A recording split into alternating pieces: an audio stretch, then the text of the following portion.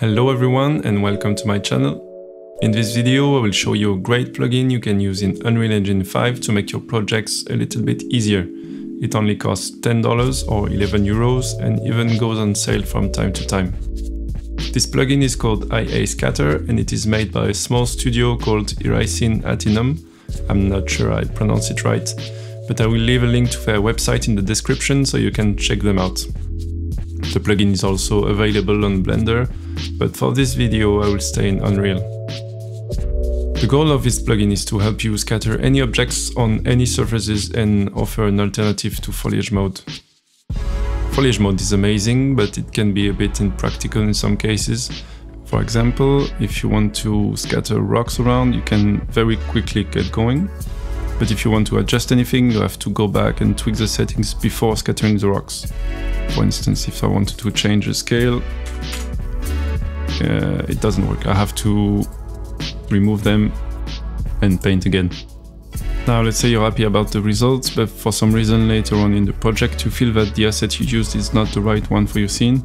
You can swap the asset, but if the scale is not working because the asset is very different, you have to start again and paint your new assets. IA Scatter allows you to keep a non-destructive workflow to the end of your project. If you're coming from Blender, think of it as uh, GeoNodes.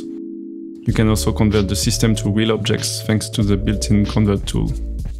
Of course, it is not meant to replace foliage mode, but depending on your specific need, it can be a great tool to have.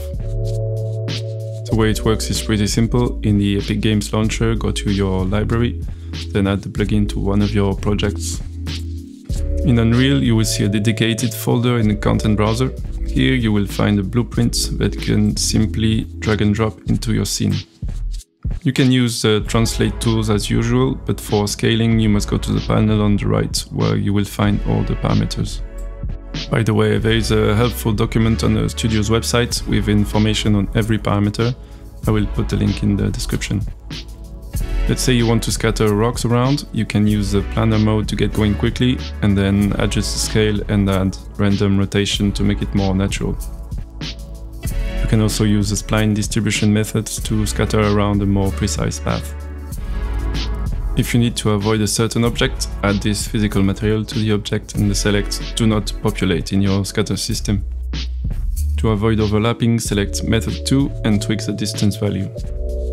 By the way, if you want to hide this uh, little bit annoying UI element, you can go to the editor billboard scale value here and type 0.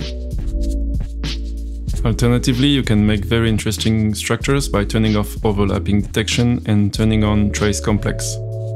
Add more meshes to your system and admire the monstrosity you've just created. Let's get cucumbers in there. Perfect. There are a lot of possibilities here, but if you want a more serious example of interesting setups, have a quick look at this trailer the studio published recently. They have also a 30 minute video about all the parameters that covers everything you need to know.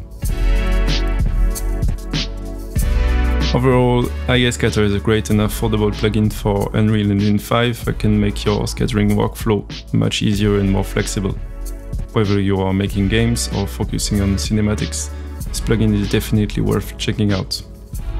I will put a link to the marketplace in the description of this video, along with all the other resources I talked about earlier.